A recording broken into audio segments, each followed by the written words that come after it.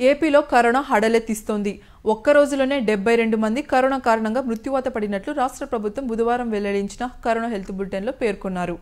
నెల్లూరు జిల్లాలో పదకొండు మంది మృతి చెందగా చిత్తూరులో పది మంది మృతి చెందారు. పశ్చిమ గోదావరిలో తొమ్మిది మంది ప్రకాశంలో ఎనిమిది మంది మృతి చెందారు. కృష్ణా విశాఖపట్నంలో ఆరుగురు చొప్పున మృతి చెందారు. అనంతపురం తూర్పుగోదావరి గుంటూరు శ్రీకాకుళం జిల్లాలో నలుగురు చొప్పున మృతి చెందారు. విజయనగరంలో ముగ్గురు కడపలో ఇద్దరు కర్నూలులో ఒకరు మృతి చెందారు. మరోవైపు కేసుల సంఖ్య కూడా రోజు రోజుకు పెరిగిపోతోంది.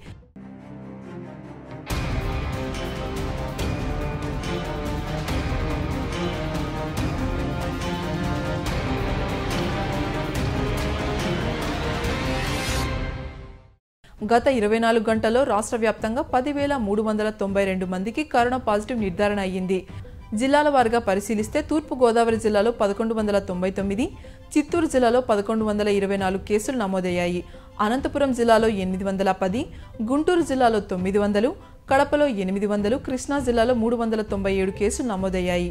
కర్నూలు జిల్లాలో ఆరు వందల తొంభై ఏడు నెల్లూరు జిల్లాలో తొమ్మిది వందల నలభై రెండు ప్రకాశంలో ఎనిమిది వందల కేసులు శ్రీకాకుళంలో ఆరు వందల మూడు విశాఖపట్నంలో ఆరు వందల డెబ్బై ఐదు విజయనగరంలో ఐదు వందల అరవై కేసులు నమోదయ్యాయి. పశ్చిమ గోదావరిలో ఎనిమిది వందల ఎనభై ఐదు కేసులు నమోదయ్యాయి. దీంతో రాష్ట్రంలోని కేసుల సంఖ్య నాలుగు లక్షల యాభై ఐదు వేల ఐదు వందల ముప్పై ఒకటికి చేరుకున్నాయి. ఇప్పటి వరకు మూడు లక్షల నలభై ఎనిమిది వేల మూడు వందల ముప్పై మంది కరోనా మహమ్మారిని జయించి పూర్తి స్థాయి ఆరోగ్యవంతులయ్యారు. ఒక లక్ష మూడు వేల డెబ్బై ఆరు మంది వివిధ కోవిడ్ ఆసుపత్రుల్లో చికిత్సలు పొందుతున్నారు. తాజాగా గత ఇరవై నాలుగు గంటల్లో డెబ్బై రెండు మంది మృతి చెందగా రాష్ట్రంలో మృతుల సంఖ్య నాలుగు వేల నూట ఇరవై ఐదుకు చేరుకుంది.